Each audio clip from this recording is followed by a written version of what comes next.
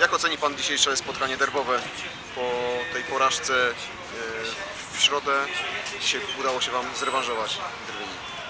No, Przede wszystkim nie podchodziliśmy w ten sposób do tego, że, że dzisiaj się musimy zrewanżować. Dzisiaj był mecz ligowy i naszym celem było zwycięstwo. No, na pewno ten środowy mecz dał nam troszeczkę przemyśleń i zawodnicy pozytywnie zareagowali na boisku. No, przede wszystkim chciałem pogratulować drużynie, która no, rozegrała jedno z lepszych spotkań. No, wreszcie wyciągnęli te swoje umiejętności, swój poziom i wszyscy zagrali tak, jak sobie oczekiwałem.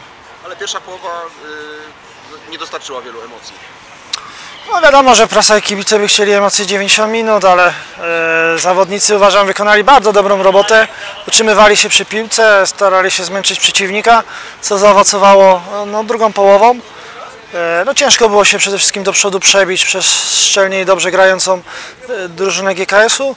No, na szczęście w drugiej połowie e, szliśmy na 1-0 i chciałbym podkreślić, że... Może przejdźmy gdzieś.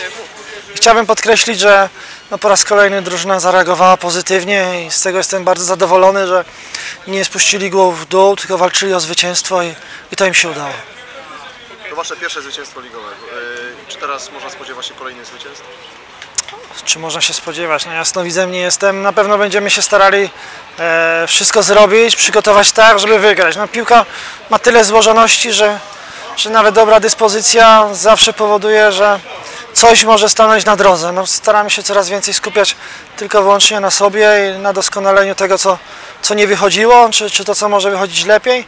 No, dzisiaj wy, wyszło, że, że ta praca idzie w dobrym kierunku. No wiadomo, że ta runda mogłaby być bardziej owocniejsza w punkty, ale no, liczy się progres pewnych zawodników, progres w organizacji i, i na tym się na razie skupiamy. Dziękuję.